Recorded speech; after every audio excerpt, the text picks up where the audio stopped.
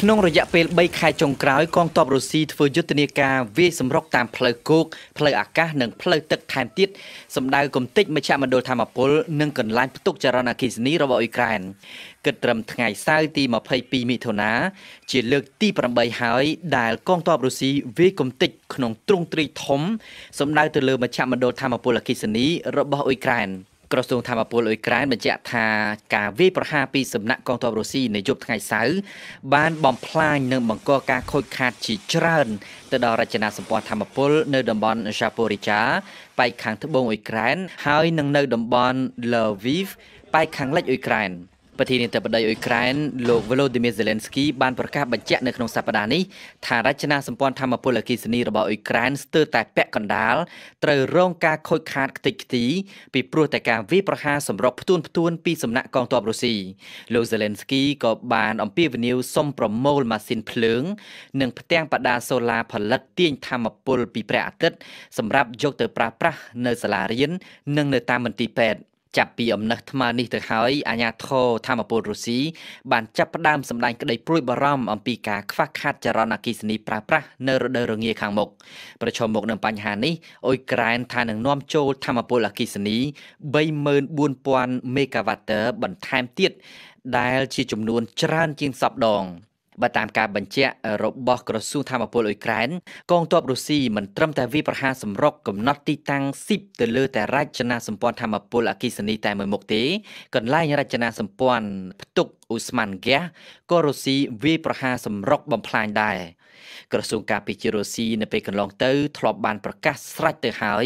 ថាកងទ័ពរុស្ស៊ីមិនញញើតនឹងប្រើមីស៊ីលរយៈចម្ងាយឆ្ងាយ និងយន្តហោះ drone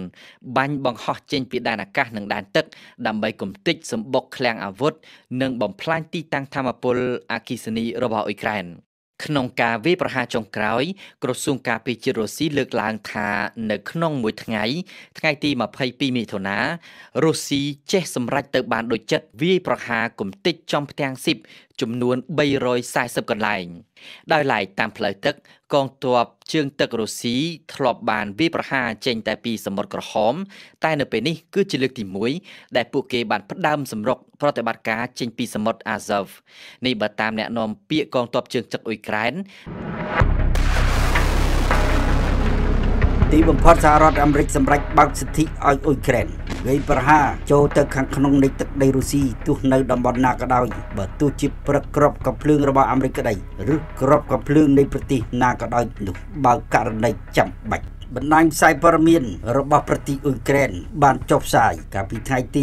21មិថុនាបានដឹងថារដ្ឋាភិបាលសហរដ្ឋអាមេរិកដោះដូរជំហរដំណាក់កាលថ្មីមួយទៀតហើយនៅពីនេះ គឺបើកសិទ្ធិឲ្យអ៊ុយក្រែនមានសិទ្ធិក្នុងការបាញ់ចូលទៅខាងក្នុងទឹកដី ប្រទេសរុស្ស៊ីទោះនៅទីណាក៏ដោយដែលលាតសន្ធឹងតាមព្រំដែនរបស់រុស្ស៊ីនោះឲ្យតែចាំបាច់បំផុតត្រូវឆ្លើយតបនេះបើយោងតាមការចុះផ្សាយរបស់សារព័ត៌មាន Politico របស់សហរដ្ឋអាមេរិកនេះដែលបានស្រង់សម្ដីមន្ត្រីជាន់ខ្ពស់របស់សហរដ្ឋអាមេរិកមកចុះផ្សាយដូចនេះ កន្លងមកសហរដ្ឋអាមេរិកបើកភ្លើងឃីវបើកសិទ្ធិឲ្យរដ្ឋាភិបាលប្រធានាធិបតីអ៊ុយក្រែន Volodymyr Zelensky ប្រើប្រាស់ក្នុងកម្រិតកំណត់មួយដោយបាញ់គ្រាប់មីស៊ីរបស់អាមេរិកឬកំភ្លើងធំរបស់អាមេរិកចូលទៅខាងក្នុងនៃប្រទេសរុស្ស៊ីត្រឹមតែនៅតំបន់ Kharkiv នៃភាគឦសានប្រទេសអ៊ុយក្រែនតែប៉ុណ្ណោះ ការអនុញ្ញាតនេះត្រូវបានអ៊ុយក្រែនអនុវត្តភ្លាមៗដោយបាញ់គ្រាប់រ៉ុកែតហ៊ីម៉ាស់ចូលទៅខាងក្នុងនៃទឹកដីរុស្ស៊ីនៅតំបន់ Belgorod ដោយ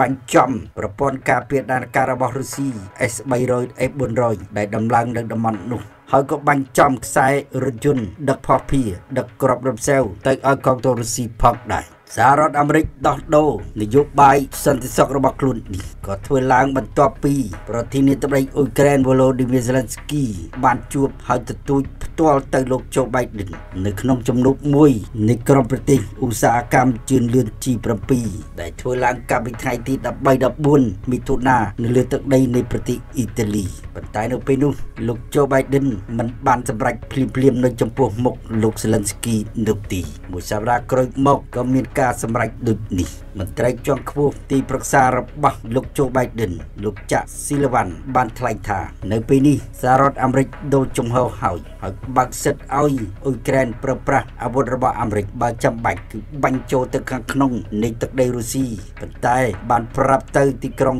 គៀវថាប្រើប្រាស់ក្នុងកម្រិតមួយគឺបាញ់សម្ដៅតែទៅលើគោលដៅនៃយោធារបស់រុស្ស៊ីតែប៉ុណ្ណោះលោកបានបញ្ជាក់ថាការកម្រិតដំណាក់កាលដំបូងនោះព្រោះថារុស្ស៊ីមានការផ្កើនខ្លាំងណាស់ដោយសង្សឹកបាញ់ចូលខាងក្នុងនៃទឹកដីអ៊ុយក្រែនដោយមិនរឹសនោះទីសូម្បីតែមន្ទីរពេទ្យសាលារៀនក៏ត្រូវរងការវាយប្រាដោយគ្រាប់មីស៊ីលរបស់រុស្ស៊ីផងដែរសហរដ្ឋអាមេរិកក៏ដូចជាអ្នកនាំពាក្យសម្រាប់កិច្ចការសន្តិសុខលោក John Kirby បានដឹងថា ការសម្របសម្រួលរបស់សេតាវិមានក៏ធ្វើឡើងតាមស្ថានភាពជាក់ស្ដែងដែលអ៊ុយក្រែនត្រូវការការពារខ្លួននៅពីនេះលោកបញ្ជាក់ថាសិទ្ធិនៃការការពារខ្លួនរបស់អ៊ុយក្រែននេះគឺអាចបាញ់ទៅលើគោលដៅជាច្រើនបើចាំបាច់បំផុតការពីថ្មីថ្មីនេះទីប្រឹក្សាកម្ពុជារបស់សេតាវិមានទទួលបន្ទុកផ្នែកសន្តិសុខលោកចាក់ស៊ូលវ៉ាន់បានប្រាប់បណ្ដាញផ្សាយព័ត៌មាន PBS ថាកិច្ចព្រមព្រៀងរវាងសហរដ្ឋអាមេរិកនិងអ៊ុយក្រែនដែលបានធ្វើឡើងកាលពីថ្ងៃ13មិថុនានោះដែលលោកโจ Biden និងលោក Volodymyr Zelensky ចុះហត្ថលេខានៅពេលនោះវាបានបង្ហាញផងដែរអំពីការផ្ដល់សិទ្ធិឲ្យអ៊ុយក្រែនប្រើប្រាស់អាវុធរបស់អាមេរិកបាញ់ឆ្លងដែនចូលទៅខាងក្នុងនៃទឹកដីរុស្ស៊ីបើចាំបាច់បំផុតលោកក៏បានបញ្ជាក់ថាបារុស៊ីបើកការវាប្រាដោយមិនត្រាប្រណីសូម្បីតែចំលោកគោដៅស៊ីវិលមន្ទីរពេទ្យសាលារៀនគឺវាអាក្រក់ណាស់ទៅហើយរបស់មហាអំណាចរុស្ស៊ីមួយនេះ ហើយចាំបាច់អ៊ុយក្រែនត្រូវតែបើកការវាយប្រាដើម្បីការពារខ្លួនលោកចាក់ស៊ីលវ៉ាន់បានបន្ថែមទៀតថាអ៊ុយក្រែនមានសិទ្ធិក្នុងការបាញ់ទម្លាក់យន្តហោះចម្បាំងរបស់រុស្ស៊ីផងដែរបើយន្តហោះចម្បាំងនោះបើកការវាប្រាមកលើទឹកដីនៃប្រទេសអ៊ុយក្រែនហើយថាបើយន្តហោះចម្បាំងនោះទោះនៅលើលំហអាកាសខាងក្នុងនៃទឹកដីរុស្ស៊ីក៏អ៊ុយក្រែនអាចបើកការវាប្រាផងដែរ លោកចាក់ស៊ីលវ៉ាន់បានបញ្ជាក់ថា នៅពេលនេះសហរដ្ឋអាមេរិកកំពុងតែរៀបចំដើម្បីបញ្ជូនប្រព័ន្ធការពារដែនអាកាសប៉ាត្រីយ៉ូតជាច្រើនគ្រឿងថែមទៀតទៅឲ្យអ៊ុយក្រែន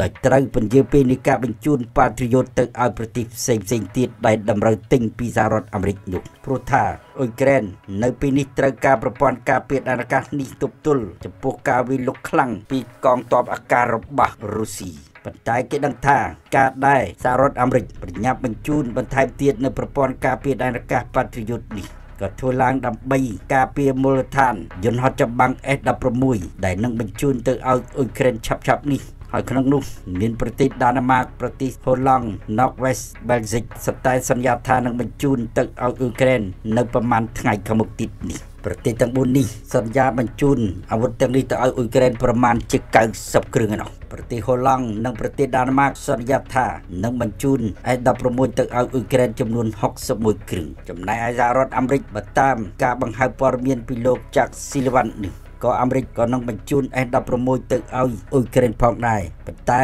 S16 ត្រូវតែស្ថិតនៅលើទឹកដីនៃប្រទេសអ៊ុយក្រែនលោកចាក់ស៊ីលវ៉ាន់ទទួលស្គាល់ថាវាផុយស្រួយណាស់ដែល S16 អាចនឹងត្រូវបានបាញ់កំទេចនៅលើមូលដ្ឋានរបស់វាដោយគ្រាប់មីស៊ីលរបស់រុស្ស៊ីប៉ុន្តែលោកបញ្ជាក់ថាការដាក់ដំឡើងប្រព័ន្ធការពារដែនអាកាសនៅតំបន់នោះគឺជារឿងចាំបាច់ដែលត្រូវបាញ់ស្កាត់ទម្លាក់គ្រាប់មីស៊ីលរបស់រុស្ស៊ី លោកចាក់ស៊ូលវ៉ាន់ទីប្រឹក្សាជាន់ខ្ពស់សន្តិសុខជាតិរបស់សេតាវិមានបានរងទៀតថាលោកប្រធានាធិបតីសហរដ្ឋអាមេរិកโจ Biden បានធានានៅចំពោះមុខលោក Zelensky ឲ្យថានឹងជួយអ៊ុយក្រែនមិនឲ្យរុស្ស៊ីឈ្នះសង្គ្រាមនៅលើទឹកដីអ៊ុយក្រែនបានជាដាច់ខាតទោះកលៈទេសៈណាក៏ដោយនោះ ហើយថាគោលនយោបាយរបស់សហរដ្ឋអាមេរិកមិនចង់បញ្ជូនក្របមីស៊ីរយៈចម្ងាយឆ្ងាយទៅឲ្យអ៊ុយក្រែននោះទេប៉ុន្តែនៅពេលនេះវាដល់ពេលទៅហើយបើតាមទីប្រឹក្សាសន្តិសុខជាតិសេតវិមានរុកនេះមីស៊ីរយៈចម្ងាយឆ្ងាយគឺសហរដ្ឋអាមេរិកនៅតែរឹតបន្តឹងមិនឲ្យអ៊ុយក្រែនប្រើប្រាស់ហួសព្រំដែនពេកនោះទេ តែមីស៊ីលត្រឹមតែរយៈចម្ងាយឆ្ងាយ300គីឡូម៉ែត្រដូចជាមីស៊ីលអាតាប់នេះគឺជាសិទ្ធិរបស់អ៊ុយក្រែនបើចាំបាច់បំផុតដែលត្រូវបាញ់លើគោលដៅជាច្រើននៅភាគីម្ខាងនៃភាគីរបស់រុស្ស៊ី ប្រធានាធិបតីអ៊ុយក្រែនក៏ត្រូវបានឲ្យដឹងថាលោកក៏ចង់បានប្រព័ន្ធមីស៊ីលផ្លោងអន្តរទ្វីបផងដែរដើម្បីឲ្យអ៊ុយក្រែនមានសិទ្ធិក្នុងការដំឡើងមីស៊ីលនេះឆ្ងាយបំផុតពីសមរភូមិហើយបាញ់ចូលទៅខាងក្នុងនៃទឹកដីរុស្ស៊ីតែសម្រាប់សហរដ្ឋអាមេរិកមិនប្រកាសផ្ដល់អាវុធប្រភេទនេះទៅឲ្យអ៊ុយក្រែននោះទេលោកโจ Biden បើតាមទីប្រឹក្សាសន្តិសុខជាតិសហរដ្ឋអាមេរិកចាក់ស៊ីលវ៉ាន់គឺលោកโจ Biden សច្ចាថានឹងមិនឲ្យអ៊ុយក្រែនចាញ់សង្គ្រាមឈ្លានពានរបស់រុស្ស៊ីដាច់ខាតបើដូចនេះមានន័យថាអាវុធទាំងឡាយដូចជាមីស៊ីផ្លោងអន្តរទ្វីបដ៏ទីបំផុតក៏សហរដ្ឋអាមេរិកអាចនឹងបញ្ជូនឲ្យអ៊ុយក្រែនបានផងដែរនេះបញ្យោងតាមការយល់ឃើញរបស់អ្នកជំនាញផ្នែកសង្គ្រាមនោះ ការពិតសហរដ្ឋអាមេរិកជាប្រទេសចុងក្រោយគីដែលបើកសិទ្ធិឲ្យអ៊ុយក្រែនប្រើប្រាស់អាវុធរបស់អាមេរិកបាញ់ចូលទៅខាងក្នុងនៃទឹកដីរុស្ស៊ីប្រទេសដែលផ្ដល់សិទ្ធិឲ្យអ៊ុយក្រែនប្រើប្រាស់អាវុធរបស់ខ្លួនវាយប្រហារខាងក្នុងនៃទឹកដីរុស្ស៊ីនោះគឺចក្រភពអង់គ្លេស ក្រោយមកគឺប្រទេសបារាំងប្រទេសអាល្លឺម៉ង់ប្រទេសស៊ុយអែតហ្វាំងឡង់ដាណឺម៉ាកហូឡង់ក៏ស្ទើរបើកសិទ្ធិឲ្យអ៊ុយក្រែនប្រើប្រាស់សិទ្ធិការពារខ្លួនដោយប្រើប្រាស់អាវុធរបស់ប្រទេសទាំងអស់នោះទោះបីវាយប្រាចូលខាងក្នុងជ្រៅបំផុតនៃទឹកដីរុស្ស៊ីក៏ជាសិទ្ធិរបស់អ៊ុយក្រែនផងដែរ រដ្ឋមន្ត្រីការបរទេសអង់គ្លេស David Cameron ដែលបានធ្វើទស្សនកិច្ចទៅទីក្រុងគីវហើយជួបនឹងប្រធានាធិបតីអ៊ុយក្រែននោះលោកបានប្រាប់ផ្ទាល់ទៅលោក Zelensky ថាគ្មានអ្វីដែលខុសច្បាប់នឹងច្បាប់សង្គ្រាមនោះទេបើត្រឹមតែវាយប្រហារដើម្បីការពារខ្លួន គឺជារឿងចាំបាច់ដែលត្រូវវាយការពារខ្លួន លោកបានប្រកាសថាអាវុធទាំងឡាយរបស់អង់គ្លេសគឺអ៊ុយក្រែនត្រូវតែបើកការវាយប្រហារបើចាំបាច់បំផុតចូលទៅខាងក្នុងនៃទឹកដីរុស្ស៊ីរុស្ស៊ីព្រមានថាប្រទេសណា ដែលផ្ដល់សិទ្ធិឲ្យអ៊ុយក្រែនបើកការវាយប្រាដែលបាញ់ចូលទៅខាងក្នុងនៃទឹកដីរុស្ស៊ីគឺប្រទេសនោះប្រឈមមុខនឹងការសងសឹកយ៉ាងធ្ងន់ធ្ងរពីទីក្រុងមូស្គូប៉ុន្តែទីក្រុងមូស្គូមិនបានបង្ហើបថាខ្លួនត្រូវសងសឹកដោយរបៀបណានោះទេ ថ្ងៃធនាវេលាម៉ោង7និង3នាទីល្ងាចគឺបានន័យថាទៅជាថ្ងៃទី22ខែមិថុនាវេលាម៉ោង6និង3នាទីព្រឹកមិញហ្នឹងប្រហែលម៉ោងមុនហ្នឹងរឿងហ្នឹងវាយ៉ាងម៉េចរឿងដែលខ្ញុំចែករំលែកពេលនេះគឺ Pentagon change rhetoric on Ukraine crossfire into Russia ចំណងជើងមានន័យថា មន្ទីរបញ្ចកោនគឺបានន័យថាក្រសួងការពារជាតិរបស់សហរដ្ឋអាមេរិកផ្លាស់ប្ដូរវោហាសាស្ត្រ rhetoric និងវោហាសាស្ត្រស្ដីអំពីការបាញ់ឆ្លងព្រំដែនចូលទៅក្នុងប្រទេសរុស្ស៊ីនិយាយឲ្យសាមញ្ញដើម្បីកុំឲ្យបងប្អូនឆ្ងល់ថាសរសេរដោយប្របាក់យល់គឺបានន័យថាឥឡូវនេះអាមេរិកអនុញ្ញាតឲ្យអ៊ុយក្រែនប្រើកំភ្លើងបាញ់ឆ្លងចូលក្នុងដីរបស់រុស្ស៊ីបានហើយ ក៏ប៉ុន្តែអត់ទាន់កម្រិតកំភ្លើងដែលបាញ់បានឆ្ងាយនៅឡើយទេធ្វើកំភ្លើងផ្លោងល្មមល្មមអាចបាញ់ឆ្លងដែនចូលដីរបស់រុស្ស៊ីបានណានិយាយម្ដងទៀតគឺនៅពេលនេះអាមេរិកអនុញ្ញាតឲ្យអ៊ុយក្រែនប្រើអាវុធដែលអាមេរិកផ្ដល់ឲ្យនឹងបាញ់ចូលក្នុងដីរុស្ស៊ីបាន ពេលដែលបាញ់តគ្នាទៅវិញទៅមកហើយមិនមែនកំណត់ត្រឹមតែតំបន់ខាគីវដូចមុនទៀតទេ គឺនៅកន្លែងណាក៏បានដែរណានឹងសង្ខេបនៃវាមានតែប៉ុណ្្នឹង ឥឡូវខ្ញុំសូមអានអត្ថបទហ្នឹងតែម្ដងដើម្បីឲ្យបងប្អូនដឹងជាព័ត៌មានខាងមន្ទីរបញ្ចកោណបាននិយាយថាអ៊ុយក្រែនអាចប្រើប្រាស់អាវុធដែលសហរដ្ឋអាមេរិកផ្ដល់ជូនដើម្បីវាយប្រហារតបវិញ strike back បានន័យថាវាយប្រហារបកទៅវិញ ប្រឆាំងនឹងការវាយប្រហារឆ្លងព្រំដែនណាមួយ any cross border attack បើសិនជាវាយឆ្លងព្រំដែនពីរុស្ស៊ីចូលមកក្នុងទឹកដីអ៊ុយក្រែនគឺមិនមែនរត់ឆ្លងព្រំដែនឲ្យរួចខ្លួនដូចមុនទេគឺអ៊ុយក្រែននឹងអាចមានសិទ្ធិតាមផ្លោងតាមនឹងបានណា any cross border attack ពីទឹកដីរុស្ស៊ីមកដល់រាប់ណា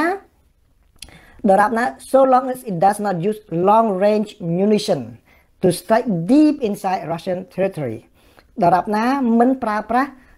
គ្រាប់ដែលបាញ់បានរយៈចម្ងាយឆ្ងាយ ដើម្បីវាយប្រហារចូលជ្រៅចូលទៅក្នុងទឹកដីរបស់រុស្ស៊ីទេចឹងបានន័យថាបើសិនជាចូលមកវាយប្រហារអ៊ុយក្រែនឆ្លងដី1គីឡូ2គីឡូមកអ៊ុយក្រែនដេញទៅវិញនោះរត់ថយទៅ4 5គីឡូ10គីឡូអាចនឹងបដោងដេញតាមនឹងបានណាគឺមិនមិនមិនឲ្យយកទៅជ្រៅរាប់រយគីឡូនោះទេណាអញ្ចឹងបើតាម លោក Major General លោកឧត្តមសេនីយ៍តូ Pat Ryder បានប្រាប់អ្នកសារព័ត៌មានកាលពីថ្ងៃសុក្រម្សិលមិញកាលពីព្រោះម្សិលមិញលោកថាសមត្ថភាពរបស់អ៊ុយក្រែននៅក្នុងការវាយបកត្រឡប់ឬបាញ់ត្រឡប់ទៅវិញទៅលើកងកម្លាំងនៅលើដីដោយប្រើអាវុធដែលហើយនឹងរដ្ឋក្របរំសេវដែលសហរដ្ឋអាមេរិកផ្ដល់ជូនគឺជាការការពារខ្លួនទេ it self defense ហើយគឺមានន័យគ្រប់គ្រាន់នៅក្នុងការអាចប្រើធ្វើដូច្នោះបានណាគឺអញ្ចឹងក៏បញ្យល់អញ្ចឹង ហើយនៅពេលដែលអ្នកសារព័ត៌មានសួរឲ្យច្បាស់ថាតើការអនុញ្ញាតហ្នឹងវាអាចអនុញ្ញាតឲ្យហួសពីតំបន់ខាគីវទេណាពីព្រោះលើកមុនអនុញ្ញាតត្រឹមតំបន់ខាគីវទេគេគេបើថាចឹងឲ្យហួសតាំងពីហួសពីតំបន់ខាគីវទៀតមែនទេលោក rider ឆ្លើយវិញថា correct ត្រឹមត្រូវហើយគឺបានន័យថាហួសពីតំបន់ខាគីវក៏អាចបាញ់បានវិញដែរហើយលោកបានបន្ថែមថាគោលនយោបាយរបស់សហរដ្ឋអាមេរិកដែលឲ្យស្នើសុំឲ្យអ៊ុយក្រែននឹងកុំប្រើប្រាស់អាវុធដែល អាមេរិកផ្ដល់ឲ្យគឺអធកម្មអធកម្មដែលហើយឬក៏ក្របមីស៊ីលណាដែលបាញ់បានរយៈចម្ងាយឆ្ងាយទៅវាប្រហែលជ្រៅចូលក្នុងប្រទេសរុស្ស៊ីនេះគឺអត់ទាន់ផ្លាស់ប្ដូរនៅឡើយទេនៅហាមឃាត់នៅឡើយទេណាប៉ុន្តែបើសិនជាចូលមកឆ្លោមកគេដេញបាញ់ទៅវិញហើយរត់ទៅថយអានឹងមិនអីទេដេញប្រផាត់ចាប់ប្រភេទតគ្នាទៅវិញណាហើយ យើងដឹងថាកាលពីមុនមកគឺលោកប្រធានាធិបតីโจ Biden លោកបានហាមឃាត់ណាហាមឃាត់មិនឲ្យអ៊ុយក្រែននឹងប្រើប្រាស់អាវុធដែលឬក៏ក្របរំសៀលដែលសហរដ្ឋអាមេរិកផ្ដល់ជូនហ្នឹងដើម្បីវាប្រហារចូលទៅក្នុងទឹកដីរបស់រុស្ស៊ីទេណាក៏ប៉ុន្តែតាំងពីខែមុនមកគឺគោលនយោបាយរបស់លោក Biden ហ្នឹងបានផ្លាស់ប្ដូរ change ការផ្លាស់ប្ដូរហ្នឹង in response to Russian ground forces launching cross border attacks គឺបានន័យថាដើម្បីជាការឆ្លើយតបទៅនឹងការវាប្រហារឆ្លងព្រំដែន ចេញពីទឹកដីរបស់រុស្ស៊ីចូលមកក្នុងអ៊ុយក្រែនគឺនៅតំបន់ខាគីវគេនៅខាគីវពេលហ្នឹងចូលទៅចូលទៅបានជ្រៅដែរណាប្រហែល7 8គីឡូជិត10គីឡូដែរហើយក៏ទប់ទៅនៅទៅអ៊ុយក្រែនអាចមានផ្លោងសិតផ្លោងទៅវិញក៏ទប់នៅទៅមុនពេលដែលការផ្លាស់ប្ដូរហ្នឹងគឺអ៊ុយក្រែនមិនអាចផ្លាស់ប្ដូរមិនអាចប្រើប្រាស់អាវុធដែលសហរដ្ឋអាមេរិកផ្ដល់ជូនហ្នឹងដើម្បីវាប្រហារទៅលើការវាប្រហារណាចេញពីក្នុងទឹកដីរុស្ស៊ីបានទេឥឡូវផ្លាស់ប្ដូរហើយ ហើយនៅមុនពេលថ្ងៃសុក្រហ្នឹងមន្ទីរបញ្ចកោក៏បាននិយាយប្រាប់អ្នកសារព័ត៌មានអំពីការបន្ធូរបន្ថយគោលនយោបាយហ្នឹងដែលអនុញ្ញាតឲ្យទៅយកប្រើហ្នឹងគឺដើម្បីតំបន់ខាគីវទេដើម្បីការពារតំបន់ខាគីវទេក៏ប៉ុន្តែឥឡូវនេះគឺបានផ្លាស់ប្ដូរហើយណាអញ្ចឹងគឺដំណឹងល្អគឺប៉ុណ្ណឹងហើយបន្តទៀតនេះគឺកន្លែងនេះមួយទៀតកន្លែងនេះមួយទៀតគឺ ការហាមមិនឲ្យផ្លោងផ្លោងចូលទៅក្នុងគោលដៅរបស់រុស្ស៊ីនៅក្នុងជ្រៅនោះក៏ប៉ុន្តែបើគោលដៅយោធាអាចអាចនឹងបានខ្លះដែរណាអឺហើយដោយឡែករឿងនេះវិញរឿងខាងចោះបើសិនជាក្នុងករណីដែលយន្តហោះរបស់រុស្ស៊ីហោះក្នុងដែនយន្តហោះយោធាណាយន្តហោះយោធារបស់រុស្ស៊ីហោះក្នុងដែនអាកាសរបស់រុស្ស៊ីវិញតែយ៉ាងម៉េចគឺគេថាយុសហរដ្ឋអាមេរិកហ្នឹងមិនបានដាក់កំហិតទេ មិនបានដាក់កំហិតទៅលើការវាយប្រហារលើគោលដៅយោធា នៅក្នុងដែនអាកាសរបស់រុស្ស៊ីទេអញ្ចឹងបើសិនជារឿងអឺ